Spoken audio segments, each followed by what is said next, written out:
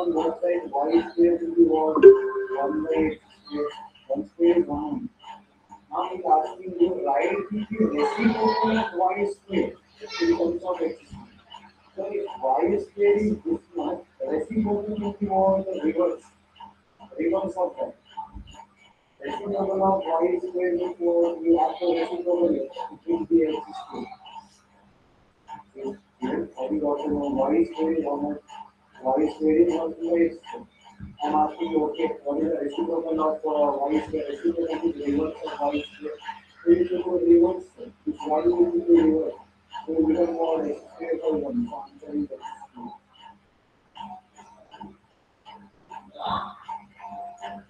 Now this is uh, distributive property. Uh, you can find out that using this distributive property or take LCM and add this, then multiply this. Now, modulus A plus B. We should Good morning, all of you. This is Dr. Rajendra Maurya, and today I am here to discuss the technology led growth in horticulture for increased production and productivity. So, what is the role of technology led growth in horticulture? For increasing the production and productivity. So, various aspects we will discuss today uh, for this. So first uh, we have to discuss what are the production related issues. What are the major issues of production? So in this one, number one is the inadequate availability of planting materials. So we can say the farmers or we can say the orchard growers, they are facing problem. They don't uh, getting the proper planting material. So inadequate availability of planting material is a major issue. Then second thing, the authenticity of the planting material. So we can see the right genotype that is the good yielder, good quality, and that should be the free from diseases, insect pests, etc. So that is not our, available in the proper amount, and also the at the requirement by the farmers or growers that is available in inadequate quantity. So farmers and growers are facing a lot of problem. So in this sector, we have to uh, focus we have to pay our attention to multiply the uh, large quantity of uh, genuine planting material that is useful for uh, farmers because sometimes in some crops especially for the uh, fruit plants so they are perennial in nature and they can we can say the after seven to eight years in economic uh, production. So sometimes farmers and growers cheated. So many private nurseries they supply the planting materials, but no authenticity of that.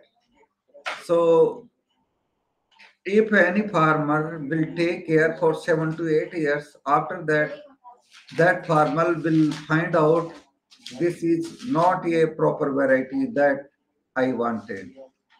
So we can say the that farmer wasted the seven to eight years uh, in maintaining of those plants and also the wasted lot of money on the input materials like fertilizers, manures, intercultural operations, agrochemicals, etc. So there is a need to available the adequate right type, good genotype planting materials. So at the time of requirement, farmers uh, can't wait and or the right season, they can uh, purchase the planting materials from the authentic source and they can plan or they can plant in the uh, field. Then high prevalence of the senile orchards. So in senile orchards also have the uh, certain prevalences, uh, major problems. So all these things uh, we have to sort out so farmers can get the uh, more benefits uh, from their available lands. Then rain-fed horticulture. So in rain-fed horticulture, we can see the shortage of the uh, water for irrigation purpose. So for that, uh, in horticulture, only we have the uh, arid horticulture options. So we can say in this, we have to select the suitable plants that are fit for arid horticulture and that material we can multiply on large scale. So in that we can plant by the scientific way. So we can do the scientific cultivations uh, of the arid horticulture. So in our arid horticulture, we can select the plants like uh, ber, uh, lasoda, pomegranate, amla. Uh, also, we can grow the guava too, and the care. So these plants, their water requirement is low. So during the rainy season, we can prepare the pits. So you know the at least we have to uh, dig the pits uh, one month before of uh, planting of planting materials in the field. So in this summer we have to dig out the uh, pits and we can keep open at least for one month. So we for that is the main purpose to remove the uh, field heats.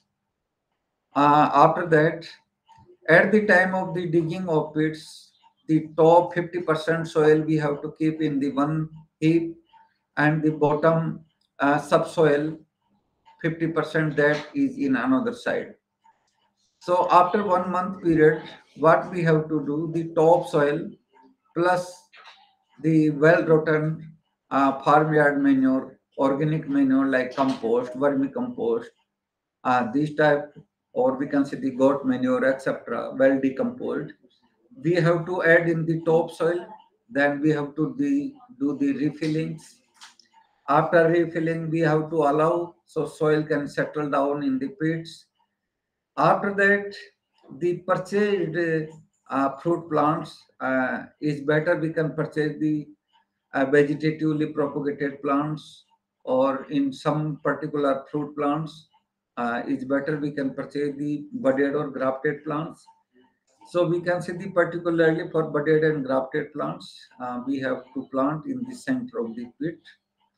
So when we are putting that plant in the center of the pit, so the bud union or graft union should be five centimeter above the uh, soil surface so we can uh, protect because sometimes during the watering we fill the water in the pits if that uh, standing water is in contact with the bud union or graft union so that can cause the decaying or rotting of uh, that portion of a plant and we can lose that plant. So and also the during the uh, refilling of the pits so it's better we can apply the termiticides as well as the uh, uh, white grub is also major problem in some areas. So for that purpose also we can incorporate the uh, pesticides. So in rain-fed horticulture, only these plants we have to plant during the rainy season.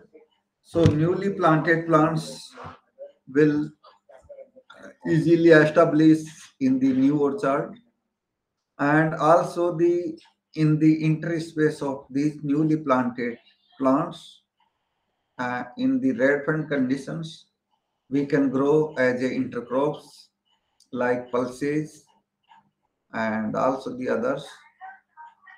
Then next one is the lower productivity.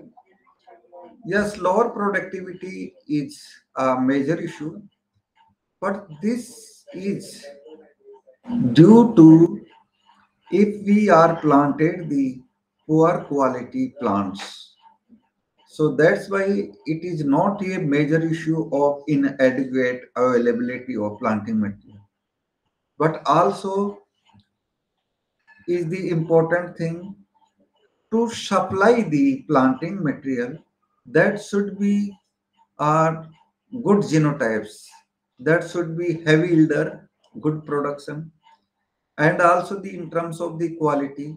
Uh, quality means the uh, size, color of the fruit, juice content, and we can say the uh, TSS and number of seeds, storage life, all these things. So for all parameters, we have to select the good genotypes.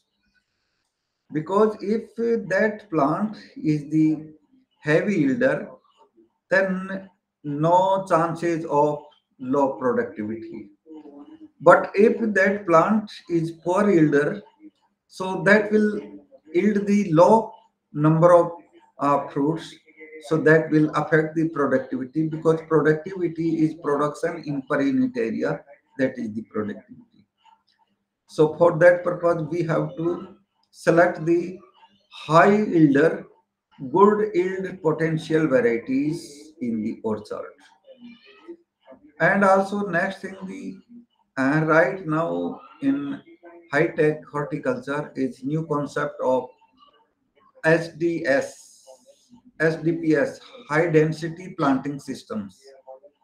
So in this one is the row to row and plant to plant spacing we should follow according to HDPS.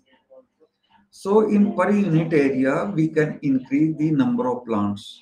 So in per unit area, we can get the uh, more production. So we can uh, uh, avoid the lower productivity issue. So these are the major things in this. Then next one is the insufficient trained manpower. So this is a also uh, major problem. Right now in these days we don't have the sufficient uh, trained manpower.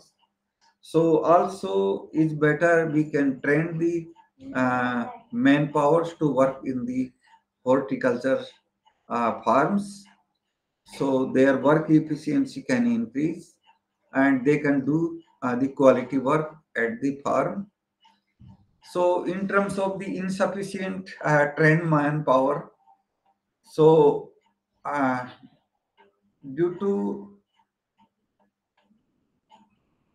unavailable of trained manpower mostly farmers and growers they engage the untrained manpower that is we can say the casual manpower or we can say the unskilled manpower.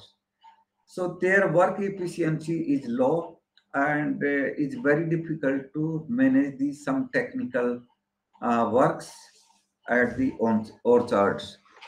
So in this uh, uh, sector also we can focus uh, our attention.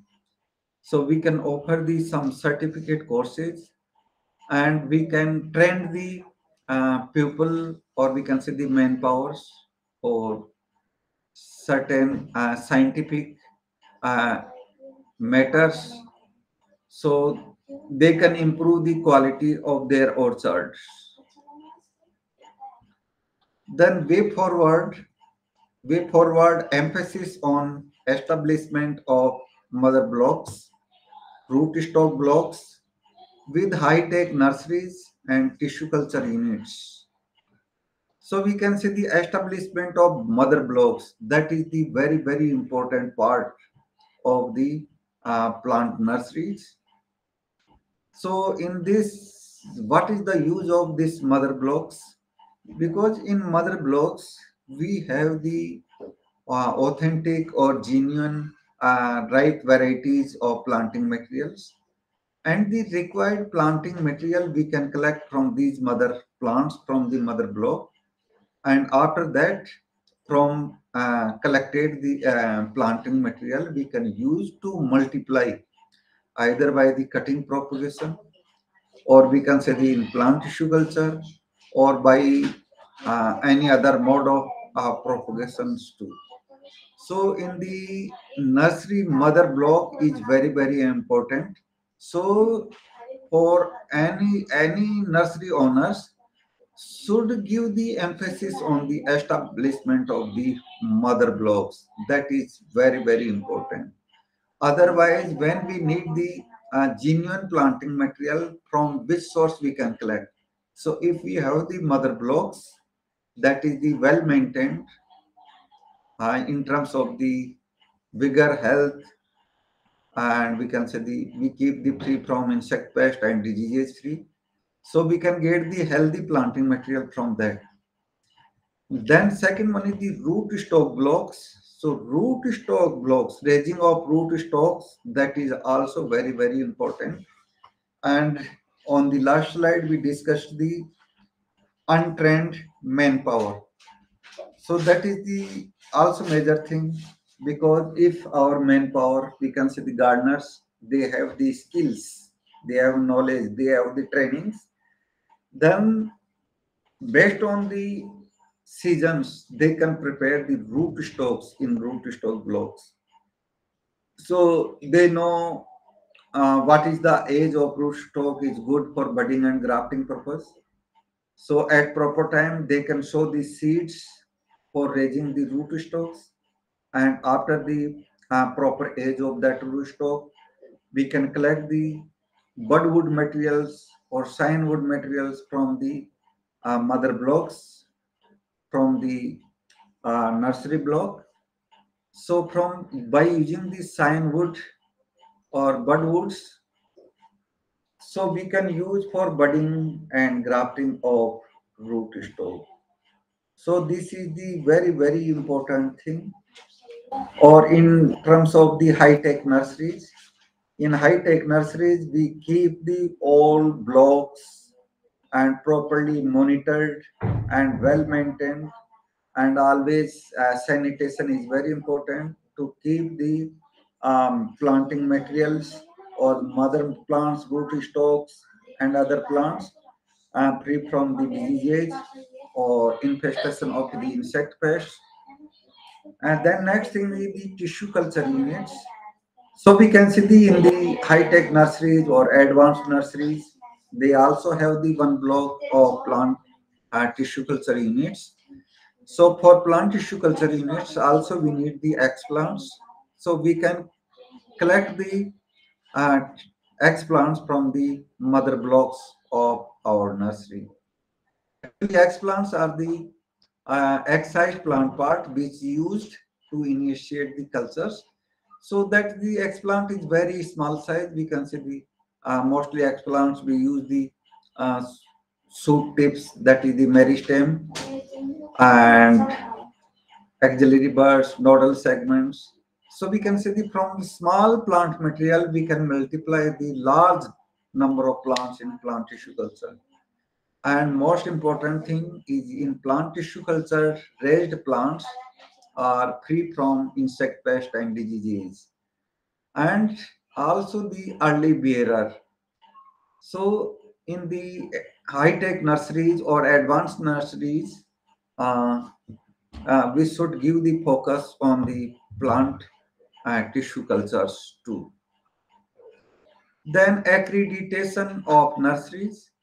So in accreditation of nurseries, the scientific personnel, they visit the nursery, they inspect so what is the maintenance of there and how many the skilled manpowers there? What is the procedures of multiplication? So they have the certain rules and regulations. So according to that guidelines, they inspect and they assess of that nursery and after that they accreditate that nursery and they can issue the certificate to nursery owners. So similar like the in uh, universities, so they want the accreditation like from ICAR and we can say the NAAC accreditation. So they also have the some certain parameters. So based on that, the team will assess and based on the performance, they accredited the universities.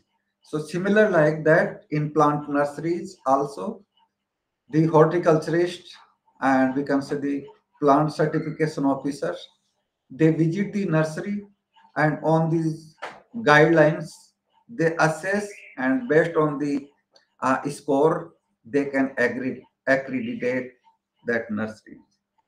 So accreditation is also a very good uh, thing for the nurseries, especially for as exporting of the uh, plants to other countries. Okay.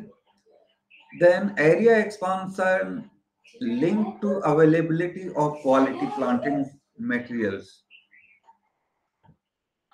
So yes, this is also important thing. Uh, we should expand the area so we can get the uh, sufficient quantity of the quality planting materials from that and we can multiply.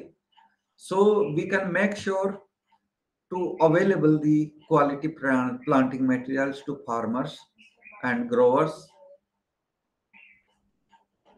So that is also uh, is the one solution for that.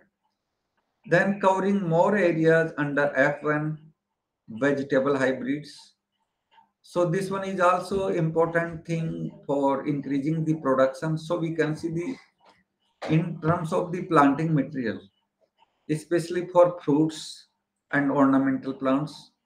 So vegetatively propagated uh, plants are good for that. But if we will talk for the vegetables then we can see the commercial propagation uh, method is the seeds. So for that purpose uh, we should uh, make sure to available the F1 hybrid vegetable seeds. So because seeds are the um, propagating material or we can say the growing part. So if we available the uh, F1 hybrid seeds, then farmers can uh, produce the large quantity of vegetables. So they can increase the yield i mean the production. And obviously in per unit area if they increase the production then productivity is automatically increased. So cultivation of vegetables for round the year production yes. So we can see the in those areas they have the good quality soils and good quality water and that is the available round the year. So they can grow the vegetables uh, by preparing the calendars round the year. I mean the all 12 months they can grow the vegetables. So right now in the high tech horticulture is the uh, new concept of is the protected cultivation that is the greenhouse cultivation. So under that we can also grow the vegetables round the year. And also right now the varieties of any crop is available that you can grow in any season. For example you can take example uh, like the tomato. So however tomato is warm season vegetables but right now you can grow around the years. Same thing in the cucumber in protected environment you can grow around the years so in vegetables we can grow around the year and we can increase the productivity as well as the production. And we can uh, make available the good quality vegetables in all seasons round the year then establishment of crop based center of excellence. So in the government state governments and central government is also paying their attention and they are trying to establishment of the center of excellence So in terms of the vegetables, I would like to give the examples in Haryana is Gharaunda. So that is the center of excellence for vegetables. So similar like that, in also we can say in Ganganagar is the for citrus center of excellence. Then way forward promotion of high density, ultra high density planting systems in potential crops. So already I told you in high tech horticulture is a very good uh, chances to promote the high density planting systems or we can say the ultra high density planting systems in potential crops. So we can say the just you can take an example of mango. So in normally mango plant to plant planting distance is 10 meters and row to row is 10 meters. So 10 into 10 meters. But the good variety is the Amrapali that is highly suitable for high density planting systems so that we can uh, plant i mean the, that required the plant to plant and row to row spacing is 2.5 meter into 2.5 meter. So that is the dwarf so that will accommodate the more number of plants in per unit area. So we can say the we should select the good quality varieties and that variety should be budded or grafted so we can accommodate the more number of plants. So similarly, this was an example and also we can follow the ultra high density planting systems. So if we are increasing the number of plants, then obviously we can get the more production. If we are calculating the per plant production, then in total unit we will get the production manifolds okay so in this uh, also if you heard about the meadow orcharding system in guava that is also part of ultra high density planting system so in meadow orcharding system uh, the row to row distance is 2 meters and plant to plant is one meter distance. So after that, we have uh, follow the proper training and pruning systems, and we can get the uh, four five times uh, production in that particular area or in per unit area.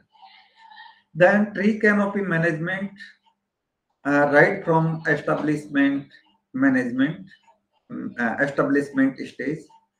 So also we discussed in the other uh, topics uh, the principles of training and pruning so tree canopy management is also very important thing so that we can do by following the uh, training systems in fruit orchards so that is required at initial stage that is two to three years in that we maintain the uh, three four scaffold branches for the development of good framework. Then integrated approach on micro irrigation and mulching. So right now mulching is also very important uh, concept uh, for the moisture conservation. That is also regulate the soil temperatures and moisture conservation and suppress the weed growth. And right now the in terms of the micro irrigation, we are facing the lot of problem due to water scarcity. So for saving of water, the in micro irrigation system, uh, especially for fruit orchards, is best uh, we can use the drip irrigation systems. And for vegetables, drip system as well as the micro sprinklers is good. So in vegetables and fruits, mulching is also save the waters the next one is the rejuvenation of old or senile unproductive orchards. So rejuvenation is also very important that in case of the old orchards that have the unproductive branches or seniles, so that we can do the heavy pruning of those plants. So after that, new growth will start due to removal of the old unproductive branches. So that will be the rejuvenation. So on rejuvenated branches, we will get the good quality and high productions. Protected cultivation of high value crops. So protected cultivation is the cultivation under the greenhouses. So in that we can maintain the favorable climatic conditions and we can grow the high value crops around the year. So um, various benefits of protected cultivation so that we will discuss in the uh, protected cultivation topics and promotion of mechanization in horticulture. Because you know the in traditional systems uh, manual it's very difficult to do all uh, things. So it's better we uh, follow the mechanization in horticulture use of machineries so use of machineries for plowing harrowing and we can see the for pit diggings and also for fumigations, agrochemical applications, or for the disturbing the uh, uh, the weeds, etc. So mechanization is very important, and also uh, part of mechanization is the drip irrigation systems.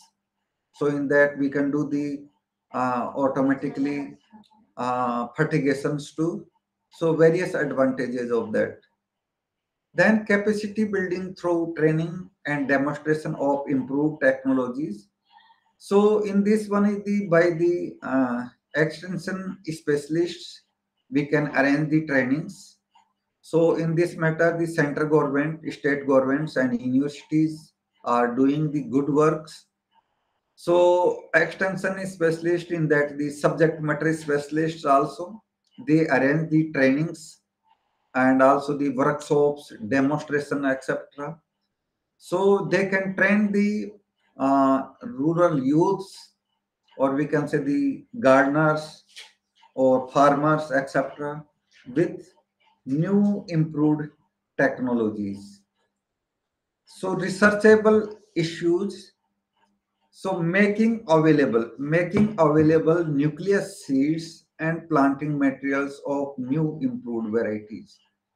So for research purpose, we can uh, make available nucleus seeds and other planting materials for new improved varieties. So we can work on that and we can release the uh, new varieties. Evolve varieties, root stocks, which are tolerant to drought, frost, pest and diseases. So I mean the by the seed materials we can evolve the uh, new hybrids, new varieties. And also the for root stocks, we can identify, we can study on that, we can do the research. So identify the uh, root stocks for tolerant or we can say the resistance to diseases, resistance to insect pests, or in terms of the tolerance to drought tolerant, frost tolerance, salt tolerance, all these things. So these are the researchable issues. Assess water and nutrient requirement of different plant densities for varied agroclimatic zones. So in this uh, we can study uh, the for optimum plant densities and uh, based on the various agroclimatic zones. And also the we can recommend the what is the uh, nutrient nutrient requirement of that particular crop. So how much organic manure is required how much nitrogen required how much phosphorus required and how much potassium required or also the for other micronutrients is any specific requirements and what stage we should apply so we need to do research in this sector. Develop models for tree canopy architectures for important fruit crops.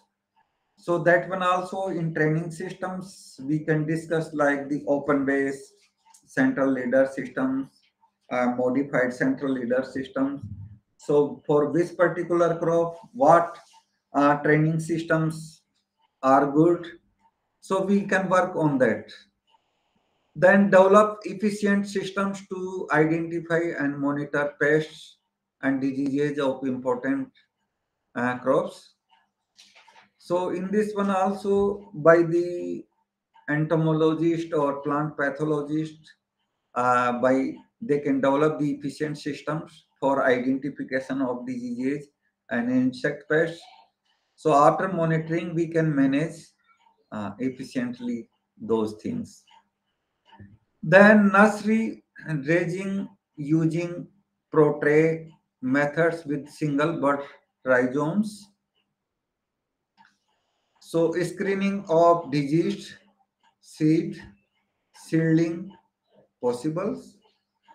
So either the seeds or seedlings. So screening we can do. So in that we can prepare the good potting mixers that should be free from any infection. After that, we can show the seeds or we can transplant the seedlings. After that, we can do the monitoring and we can diagnose the diseases on that. So by these methods, we can do the screening of seeds and seedlings.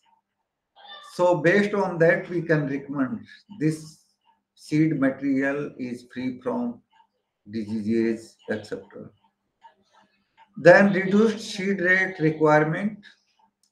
So low cost cultivation, yeah, reduced seed requirements. So in this one also uh, best we can say the for scientific cultivation process. So if we are doing the broadcasting of seeds, then obviously we need the more seeds. Or if we are doing the line sowing, then we can reduce the seed requirements. So also we have to find out what is the exact seed requirement of that. Or if we are raising the seedlings, then it's better we can prepare the raised seed beds and we can sow the seeds at proper space. Because sometimes we do the broadcasting on the beds, so seeds are overcrowded. so in that, we are wasting the seeds. Then low cost of cultivation. So in low cost of cultivation, we should try to reduce the cost on input materials. So input materials eh, like the use of agrochemicals, field preparations, weed managements, irrigation charges. So I mean the for example for irrigation, if we are doing the uh, check basin methods, then we need the large quantity of water or if we are doing the irrigation through drip irrigation, then we can save more than 50% of water. Second thing in check basin uh, is fertilizer application is also problematic. But in case of the drip irrigation system, we can do the fertigation. So along with the irrigation, we can apply the fertilizers and we can easily uh, reduce the cost on fertilizer application or on uh, irrigation charges too. So also in terms of the weed management, if we are using the mulching, that will suppress the uh, weed growth and also is better to conserve the soil moisture and regulate the soil moisture. So if regulate the soil temperature, that is good for the plant growth and development and very useful techniques. And in terms of the uh, weed growth, if that is the covered with the uh, plastic mulch, so that will suppress the weed growth. So if no weeds, then obviously we can save the uh, money on the uh, maintenance charges. Also, no need of the agrochemicals to control the weeds. So all these things. So here you can see the uh, root stock blocks. So in this root stock blocks,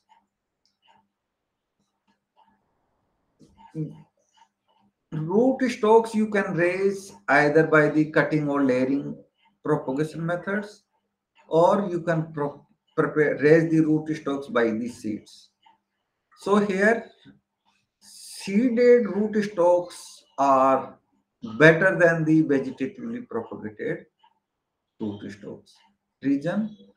Because seeded root stocks have long juvenile period and better root systems. So our recommendation, we should raise the root stocks from these seeds. So what we have to do, we have to prepare the well soil mixers. In that is the sand, soil plus well rotten farmyard manure, and also we can add the some uh, termiticides. So after that preparation, we have to take the polythene bags as per the requirement of that particular crop root stocks. So on that polythene bags, we have to make the certain uh, holes for drainage purpose. After that, we have to do the filling of soil in those polythene bags. And after that, we have to do seed sowing. So better before we do the seed sowings, so number one, we have to treat the seeds with the warm water to increase the germination percentage. Or in case of the some seeds have the dormancy problem, then we can treat with the hot water as well as the gibberellic acids. And also we have to treat with the uh, suitable fungicides or insecticides. After treat, seed treatment, we have to sow the seeds in the filled uh, polythene bags. Then those polythene bags we have to arrange in the beds or in the pits. After that, we have to do irrigation.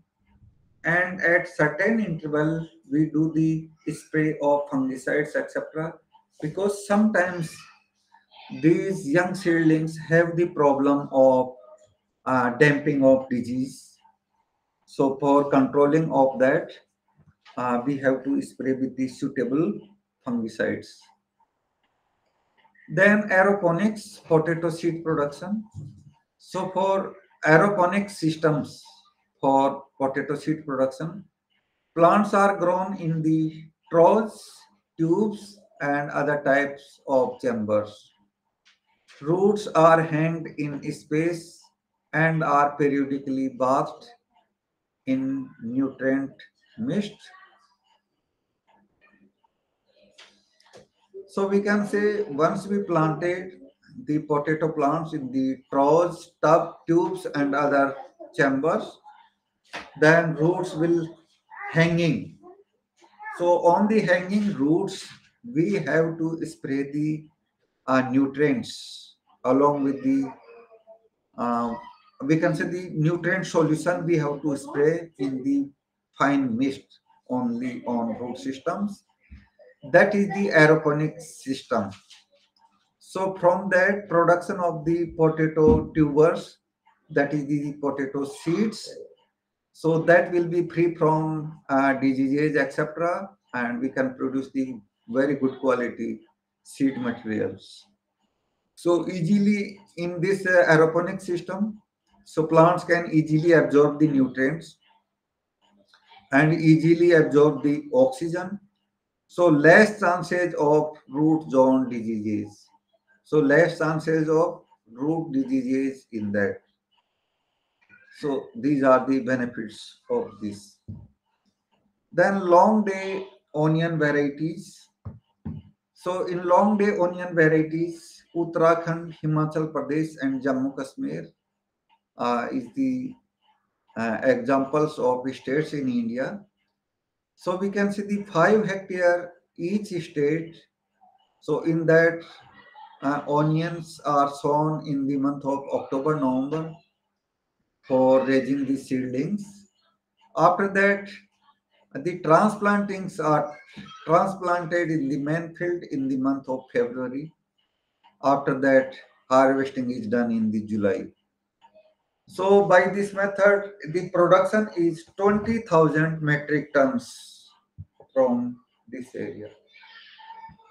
So right now we can see the major problems in this is sufficient seed not available. So major problem is not sufficient seeds available. Then brown Spanish and VL3 and other thing if we will get by anyhow we will get the good production then very very big problem is the storage structures. So we don't have these uh, sufficient storage facilities. So we should also pay the uh, attention on that because potatoes also highly uh, perishable commodities because when they get the moisture and high humidity so onions start uh, sprouting. Then protected structures. So in protected structure uh, the greenhouses polyhouses these are the protected structures. So in greenhouses climate controlled. So climate in terms of the temperature humidity aeration, light, etc. we can control in greenhouses. Semi-climate controlled, we can say the in medium cost greenhouses and naturally ventilated in low cost greenhouses or raised arch. That is the tunnel type. Then net houses, that is the insect proof nets so no entry of the insect pests and shade nets. So that green color shade nets we use also in the uh, nurseries for propagation purposes also. And also we can use for the hardening of the nursery propagated plants uh, before uh, planting in the open conditions. Then other temporary structures like walk-in tunnels, plastic low tunnels, plastic mulches all so these uh, walk-in tunnels plastic low tunnels plastic mulches. These are the temporary structures but uh, very important. So we need all these things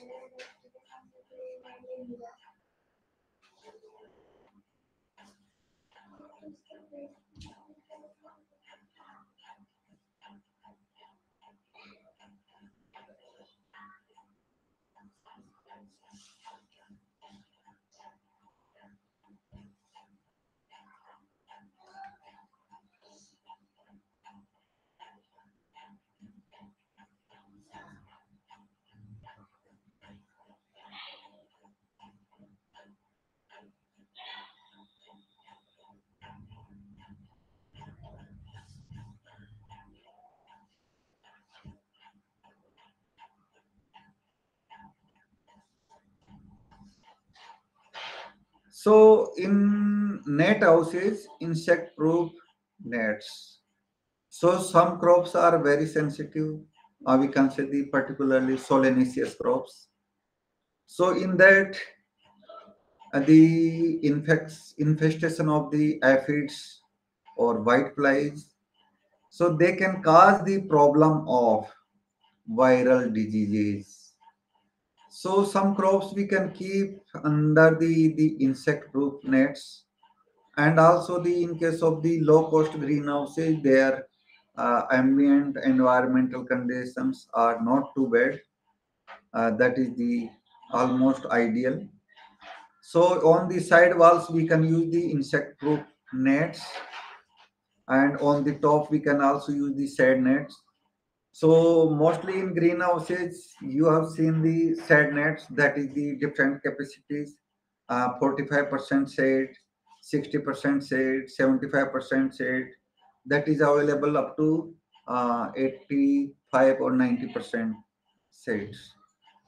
So these shade nets uh, also we can use the for the uh, cultivation of the uh, cultivation of the some cut flower crops that require the partial shades.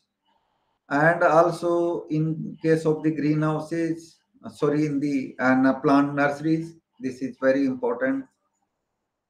So uh, raised plants we can keep for certain period in the shade nets for hardening purposes. So I, once that plant is well established after that once uh, well established after that we can send these planting materials uh, to acc- acclimatize in the uh, open field so we can plant in the direct field. Because once uh, your raised plants if you will send direct in the field and you planted then it will uh, it will cause the mortality. So it is very important things and rest things in case of the uh, climate controlled conditions. So in climate controlled protected structures, we can have the automated uh, systems. So in automated systems, uh, the temperature uh, with the help of the sensors automatically can read and automatically misting systems can operate for cooling purpose and also to increase the humidity. So as per requirement we can do that. And also we have the in a modern greenhouses we have the fan and pad cooling systems. So cooling pads on the one side walls and on on opposite side is the uh, exhaust fans. So when we need to we need to reduce the temperature to decrease the temperature. Then we can operate the fan pad cooling systems.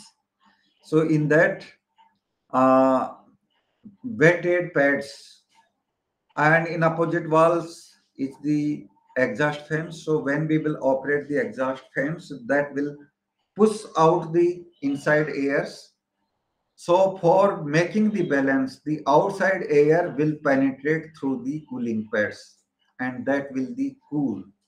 So that will is necessary for the ventilation purpose as well as for ventilation purpose as well as for uh, cooling and increasing the humidity. So this was my presentation today. Thank you so much.